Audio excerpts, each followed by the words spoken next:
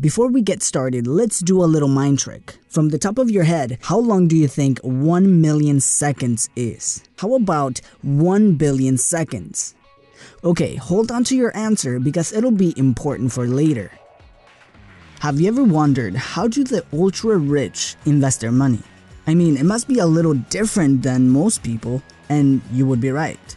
The ultra rich, the billionaires, the best investors in the world have a set of principles that significantly lower their risks and maximize their results. For four years, this guy, Tony Robbins, hung out with the top 50 investors in the world to tell us the principles they use that made them so successful and how you can use them. I know that most of you guys are ready to find out where to invest your money to achieve financial freedom. I know this because it has been the number one question I get in this channel. Even though most of us know at some level that we cannot just put our money in one investment and expect it to make us super rich at no risk. It's just not realistic. We will need to learn how to protect our investments because there's many people out there that are looking to get a piece of your wealth. Imagine this. What if I tell you about an investment opportunity where you put 100% of the money, you take 100% of the risk, but I manage your money, and if we make money, I take 60% of the gains, but if the investment loses money, you lose money, but I still get paid. What do you say? I bet it took less than a second for you to know the answer. You would not play in a game that was rigged against you. But as Tony Robbins says, 90% of American investors hold mutual funds with terms very similar to these. I know what you're thinking. How do you convince 92 million Americans to these terms? As Jack Bogle says, founder of the Vanguard Group, is all marketing. Most people don't do the math. Now, let me rephrase what I just told you in a way that mutual fund brokers try to approach you. Let's say that you invested $10,000 in my fund when you're 20 years old. Assuming a 7% annual return when you turn 85, you would have over $574,000. Sounds good, right? But something that I didn't tell you was that you will have to pay 2.5% in management fees and other charges. Doesn't sound like much, but now when you're 85, you will only have $140,000, meaning that you gave up over $439,000, about 77% of your financial growths, in fees. Fees and charges are things that the average investor does not pay the attention that it deserves, which can greatly affect the investment's potential growth. In the long term, fees that seem small compound over time. The ultra rich do anything in their power to keep their fees and charges to an absolute minimum. This is one of the biggest motivators to seek as many tax breaks as possible, or why they defer their taxes to be paid later. Because they will not earn as much with after taxed money. Because once the money is out of the investment, it cannot earn any more.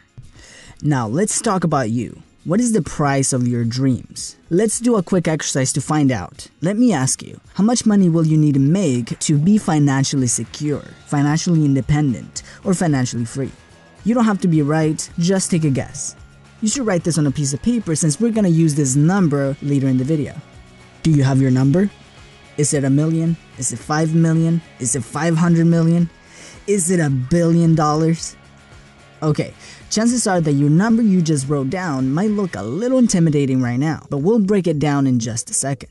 It is important to say that we as humans have a very hard time understanding big numbers. We hear the words millions and billions, even trillions being thrown around everywhere that we don't really understand the magnitude of these numbers. Now at the beginning of this video, I asked you to guess how long is a million seconds and how long is a billion seconds. Are you ready for the answers? A million seconds comes up to be 12 days. A billion seconds comes up to be 32 years. Were you close to the answer? This is just to illustrate how little we understand the magnitude of these numbers and how the number that you just wrote down might greatly exceed what you actually need to live the life you desire. Now, let's break down the cost of your dreams. First, let's look at financial security. How much do you spend in living expenses, like your mortgage, utilities, food, transportation, insurance? How would you feel if these five things were paid for for as long as you live without having to work to pay them? How would your quality of life be if this happens? Much better, I suppose. Now, in the US, the average basic expense of a household is a little bit over $34,000.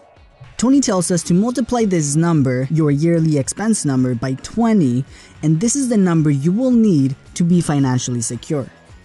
Now, there's two phases to achieve this goal. The accumulation phase is when you save and invest your money to get to your target.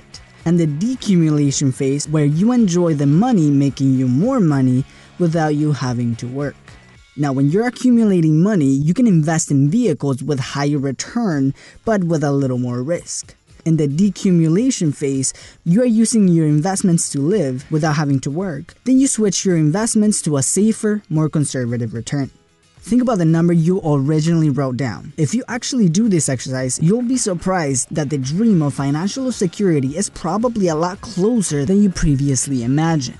And this is just financial security. You can do this same process to know the exact amount of money you need to achieve financial freedom. This is not just to cover your basics, but to live the lifestyle you want. By breaking down how much your lifestyle spends in a year, multiplying it by 20, according to Tony, you will have the target number you need in safe investments to be able to afford this lifestyle without having to work. Now, let's talk about the actual investment strategies these ultra rich, high performing investors use. Now, we've all heard to never put all of your eggs in one basket, but how important is this really? According to David Swensen, an institutional investor who took Yale's portfolio from 1 billion to over 23 billion, says is extremely important to diversify. Remember the market crash of 2008? Many people lost their retirement funds, their homes, their savings. It was a dark time. Not very much for Ray Dalio though. The founder of the largest hedge fund in the world lost only 3.9%. That is 3.9% of his gains, meaning in average, he still made money. Now, to invest, you need to have two buckets your secure bucket and your risk growth bucket. In your secure investment bucket are investments that do not normally bring very exciting returns, but you're also not taking very much risks. Meaning, you won't lose nearly as much money when the market drops. And trust me, it will. These investments are things like money markets, bonds, CDs, market link CDs, which bring higher returns, your pension, if you have one, low interest annuities. Be careful with this one, they might have lots of hidden fees. And the last one, security notes. I won't go in much detail on how they work since I already covered most of them in my investing basics video. Now, of course, you will have to take a look at each individual asset and institution issuing it to assess its validity. Your risk growth bucket is where you take more risks, but you can get higher returns. Notice how I said can. The higher risk is guaranteed, but the higher return isn't. The most common risk growth assets are equities, like stocks, ownership in companies, mutual fund indexes, or ETFs. Also, real estate, where you can buy the actual building and use it as a rental property or flip it for a profit. Or you can buy real estate investment trusts. Security notes can also be riskier depending on which one you choose. Now, in this book, Tony says that many people make the deadly mistake of investing the majority, if not all, their savings into their risk growth bucket. As Swensen says, the market will lose 50 to 70% at least once in your lifetime so you do not want most or all of your life savings at risk. There are three factors that can help you determine how much risk you want to take. Number one, your stage in life. How much time do you have ahead of you to make mistakes and recover if necessary? If you're younger, you can be more aggressive since you have longer to recover in case of a loss. Your available liquidity. If you have a high income and have a good gap between income and expenses, you could afford to make more mistakes and still make up for it. Number 3. Your risk tolerance. This all depends on you and what gives you peace of mind.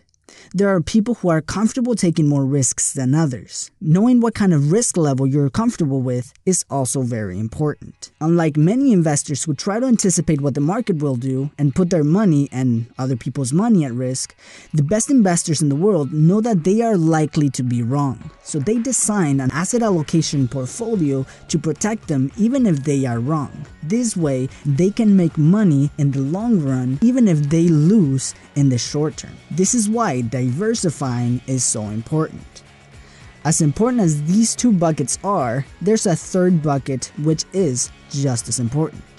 Your dream bucket. You put money in this bucket to enjoy, to buy yourself your dreams right now.